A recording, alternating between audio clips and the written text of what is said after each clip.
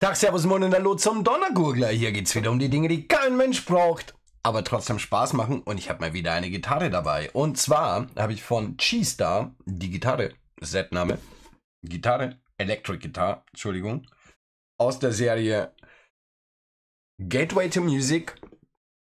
Dürfte irgendwann im Juli jetzt erschienen sein. Ich habe das bei Markus in der Klemme in Wien gekauft, der das auch importiert hat wie man hier sieht. Und ich habe keine Ahnung, ob sie in Deutschland irgendwo gerade erhältlich sind, aber einfach bei Markus nachfragen, dann kommt es sicherlich auch nach Deutschland. Das ist die 87501, hat 215 Teile, kostet 9,99 Euro und hat einen Teilepreis von 4,6 Cent.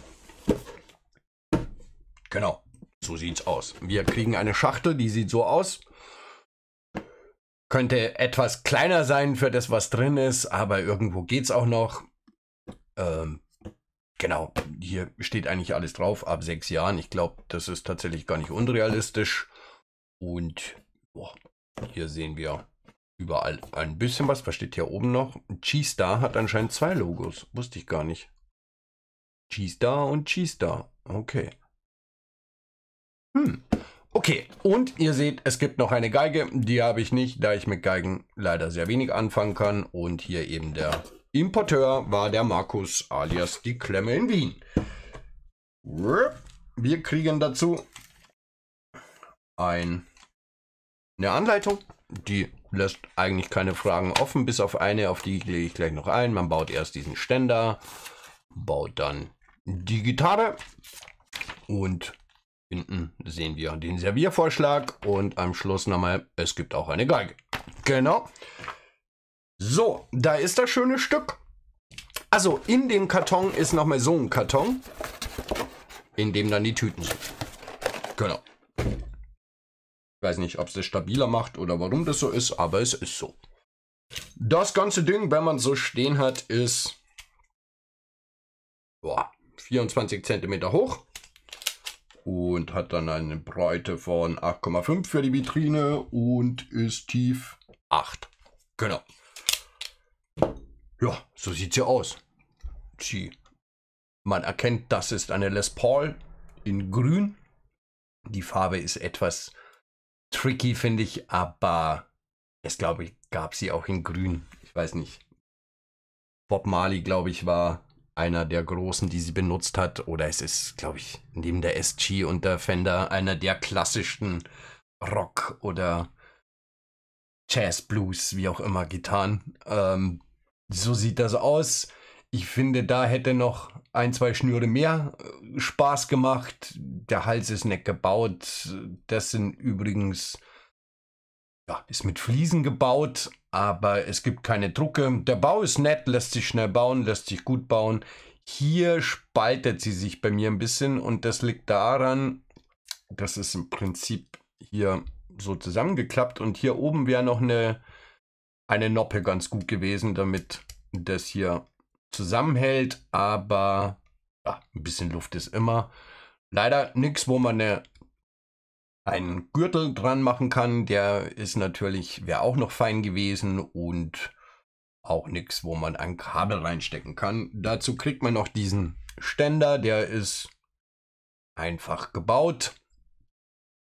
Und ja, wir haben das typische Thema bei den, bei den asiatischen Herstellern, diese, diese Achsen könnten alle etwas zueinander besser klemmen. Denn ja, das ist ein bisschen friemelig, bis man es zusammengebaut hat. Ein Thema ist, laut Bautplan gehören hier auf der Seite diese Lego Ninjago Schilder dran. Das ist ein geschütztes Teil. Die werden ersetzt durch diese hier. Kann man das gerade irgendwie erkennen? Moment, ich guck mal. Das sind so, ich kenne die nicht, habe ich noch nie gesehen, aber man kann die da auch einfach jetzt nicht hinklemmen. Also sie haben einen Ersatz mit reingelegt, der Ersatz funktioniert aber nicht. Baut entweder einfach zwei Fliesen hin und verwendet die für irgendwas anders. Ich finde es einerseits gut natürlich, dass keine geschützten Teile drin sind. Sonst wäre es wahrscheinlich auch nicht importiert worden.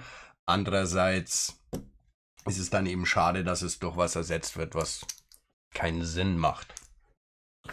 Vielleicht, vielleicht finde ich es gerade, um euch zu zeigen, was das Ninjago Shield eigentlich ist. Uh, wo ist es? Da, wo mein Finger ist. Hier auf der Seite. Hier könnt ihr sehen, das ist das Ninjago-Schild, das noch geschützt ist.